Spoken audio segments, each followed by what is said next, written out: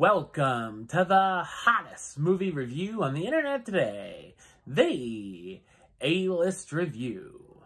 I am your host, the Game Changer, Wes Troop, and it's time to go back to the theater. And it's the latest Disney animated film to be released, my review of the 2021 animated fantasy film Encanto. Coming up now.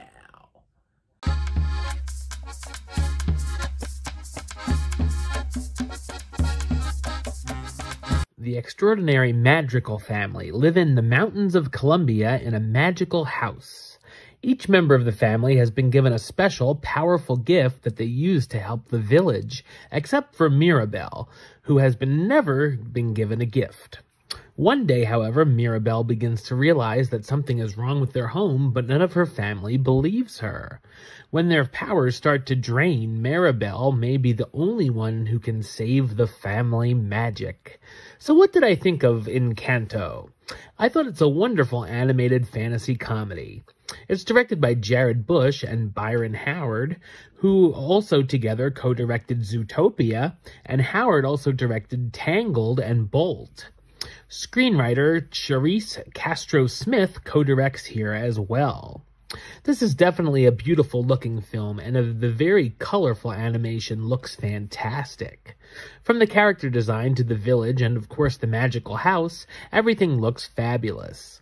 The movie does a great job showcasing the Colombian culture as well. The film also goes against the normal Disney formula as it's a more personal story done on a smaller scale with no real evil villains, which is a nice change of pace. The characters do, of course, learn a lesson along the way. We definitely feel for the character of Mirabel as she's the black sheep of the family without powers and has a rough relationship, struggling with a few of her family members. There's also a great storyline dealing with the spectacular character of Cousin Bruno, who has been excluded from the family for many years because they believe he's crazy. All of the side characters are entertaining as well, and it's fun to see their powers ranging from everything like super strength to the ability to talk to animals and even being literally perfect, like me. The magical house is a character all of its own, as it's very entertaining to see it come to life doing things such as opening drawers or moving objects around. The story can sometimes be predictable, but it still has a good message for younger viewers as Mirabel tries to figure out her purpose in life. There are a lot of funny moments included with jokes both kids and adults can laugh at. Of course, there's also some emotional moments thrown in, and a couple tissues might come in handy for a scene or two. The music by Lin-Manuel Miranda is entertaining and memorable as we've come to expect as well.